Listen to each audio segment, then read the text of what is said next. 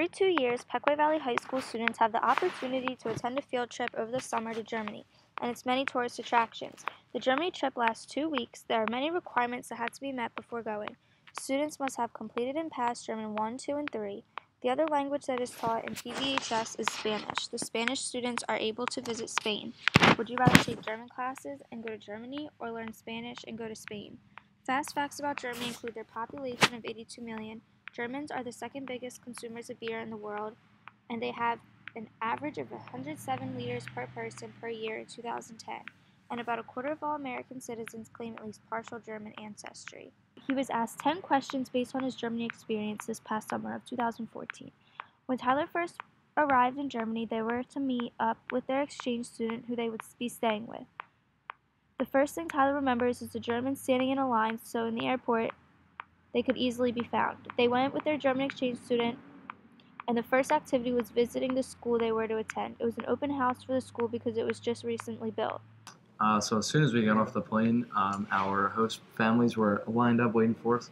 So they picked us up, and then we went home uh, to their house, introduced you know to the rest of the fam, and then um, that night we had a an event at the school that we had to go to. Uh, it was an open house at their brand new school, so that's pretty exciting. Tyler recalls having a hard time understanding the Germans and not always being able to decipher what they were saying. Pequea Valley got to visit many different tourist attractions and towns while in Germany. So, um, with the whole group, we went to Eisenach and Weimar, and then for a little three-day excursion, which was the greatest thing ever, we went to Berlin. Um, like I said, as a group, and we got to visit a bunch of cool things in Berlin, um, and went on a cool three-hour tour. So that was fun. They had a lot of time to experience new things, time to spend with their German exchange students, and time to spend with their peers. Um, so with my host family, now with the rest of the group, we went to Munich, and that was pretty awesome. It was an awesome city. Got to see a lot of the historical aspects of things in Munich.